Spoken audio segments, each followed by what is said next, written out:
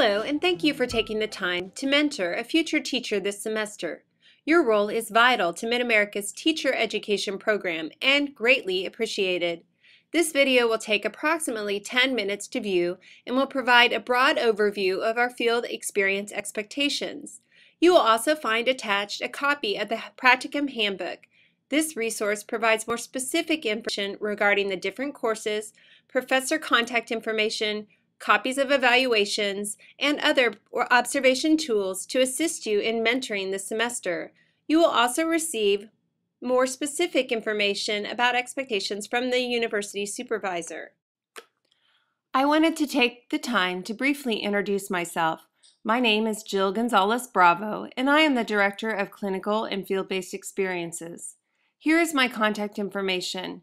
Please contact me at any time this semester with your questions or concerns. I also wanted to introduce you to the Education Department's Administrative Assistant, Mrs. Kristen Bell. She is an amazing asset to MNU's Teacher Education Department and plays a vital role in the organization of our practicum and field-based experience. The following are some of the common terms used throughout our teacher education program. There is the university supervisor, this is also known as the MNU professor, the practicum instructor, or the practicum professor. There's the teacher candidate that you will be working with this semester, which is the MNU student or pre-service teacher.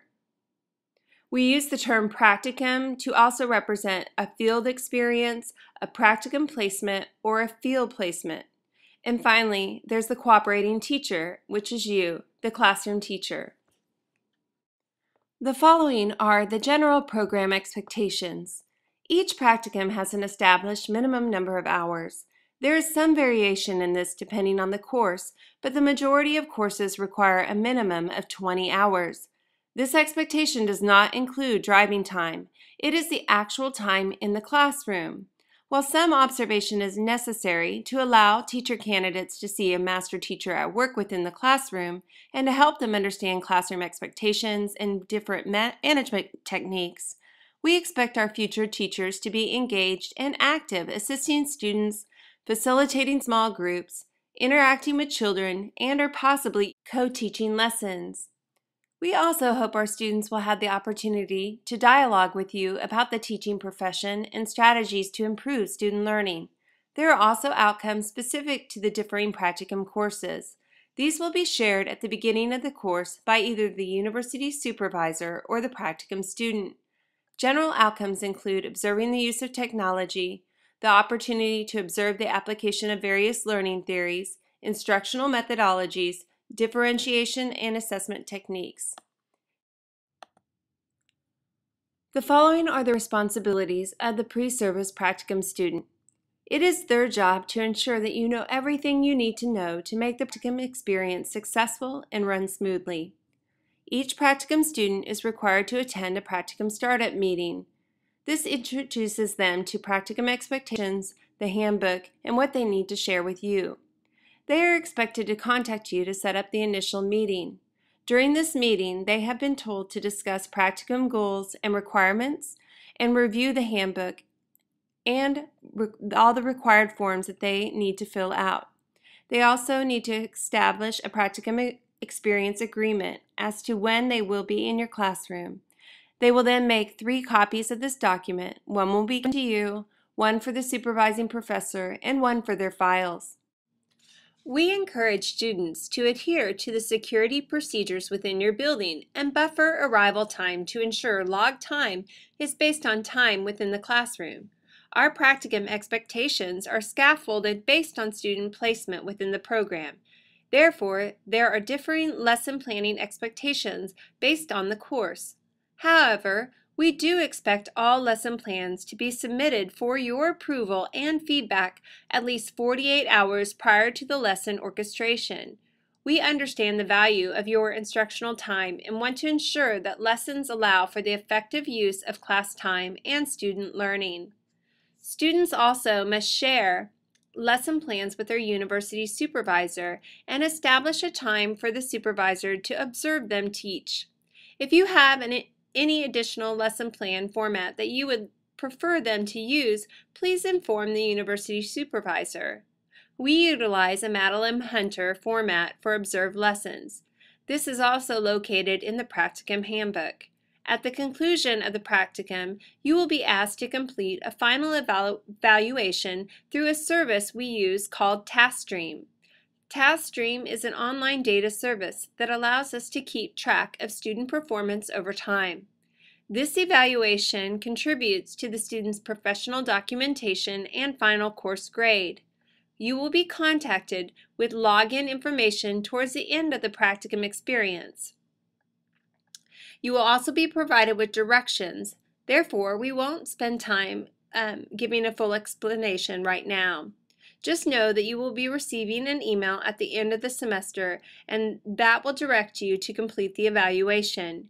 Your practicum student can assist you with the use of this service as they are very familiar with it. We would also encourage you to share the evaluation with the practicum student. This will serve to both encourage and refine their skills as future teachers.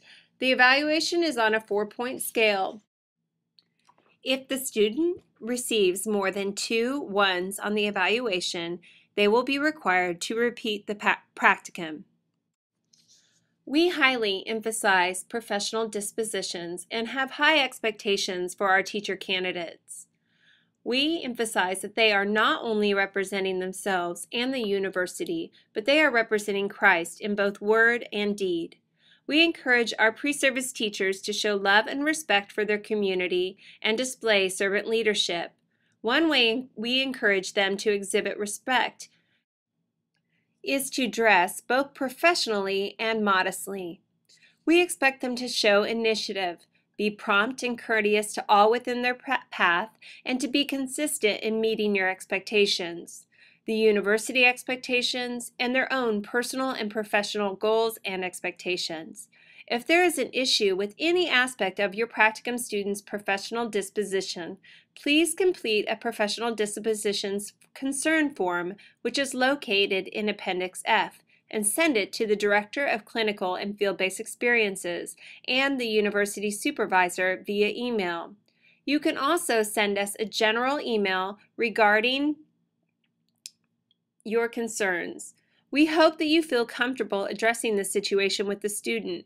However, if you do not, please know that we have a method to address and document disposition issues, so your communication with us about concerns is vital.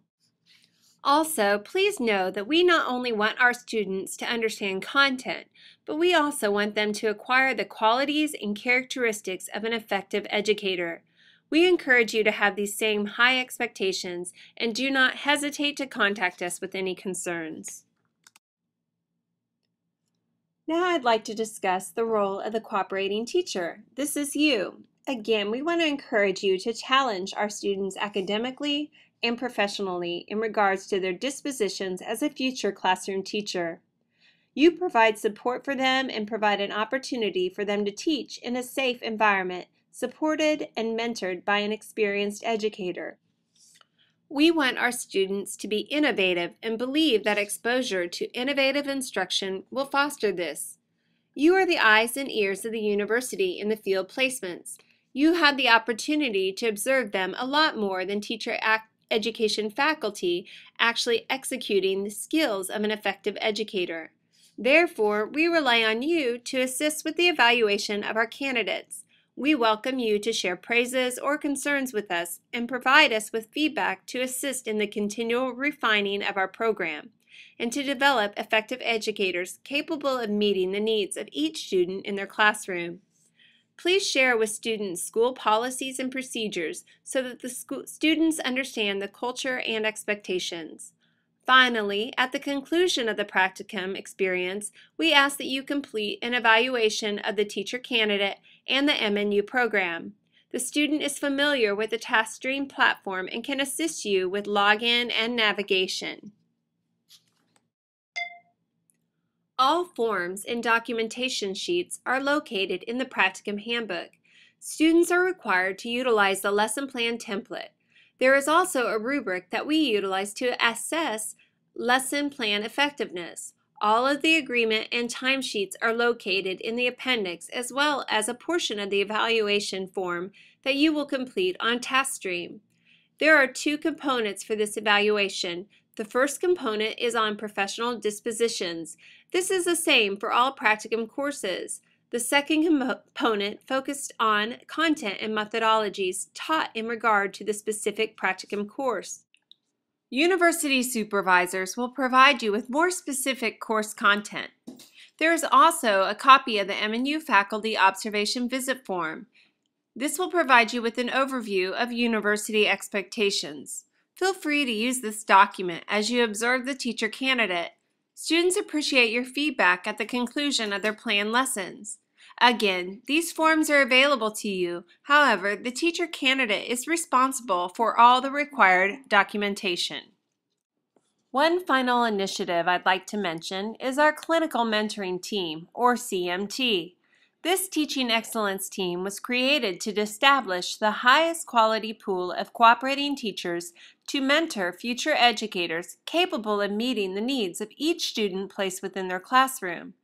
The program also allows the university an opportunity to give back to those schools and mentors that have assisted us in the teacher preparation process. The Teaching Excellence Team is created through partnerships with education communities surrounding the metropolitan area. Districts interested in this K-20 endeavor provide us with a list of mentor nominees that they have identified as not only excellent teachers, but as effective mentors. The university then sends out an application inviting the candidates to apply for the program. The CMT nominee is observed once by university faculty for 15 or 20 minutes. This is our way to confirm with our accrediting body that we do know the mentors with whom our students are being placed. We then send out an acceptance letter to the mentor and school principal to confirm the partnership. We recognize that the mentor's role is vital to the development of effective future teachers. Previously, and what you will find in uh, many other programs, is that a mentor's time was considered to be volunteered and recognized as a service to the teaching profession solely. While this is still true, we would like to also contribute to the professional development of our CMT members. Though we are unable to provide you with large cash incentives, we can provide opportunities for free professional development to our partnering, partnering schools and mentors. Schools will be provided with a list of available speakers that have a diverse array of areas of expertise, training, and workshop offerings to support school improvement. Each year, members will also be invited to attend a professional development session that addresses a variety of topics in education. Dinner and childcare are always provided. The following is a list of participating practicum course instructors. The practicum handbook has their contact information. They will be contacting you with more specific course expectations early in the practicum experience. Students will review with you practicum requirements during their first meeting. If you have any other questions or concerns, please feel free to contact the university supervising professor or me at any time with questions regarding the practicum experience. Again, this is Jill Gonzalez Bravo and my contact information is on the screen. Thank you so much for your time and we look forward to a fantastic semester.